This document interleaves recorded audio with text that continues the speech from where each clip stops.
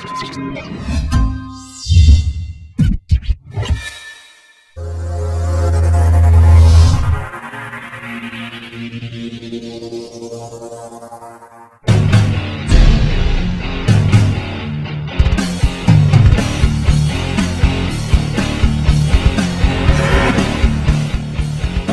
Mariano Fraguero, tengo 21 años, hace aproximadamente 4 años y medio estoy entrenando.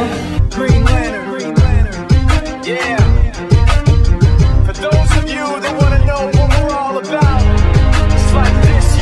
This is 10% luck, 20% skill, 15% concentrated power of will, 5% pleasure, 50% pain, and 100% reason to remember the.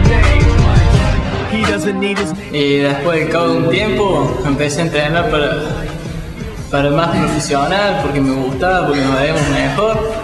Y después decidí subir ring.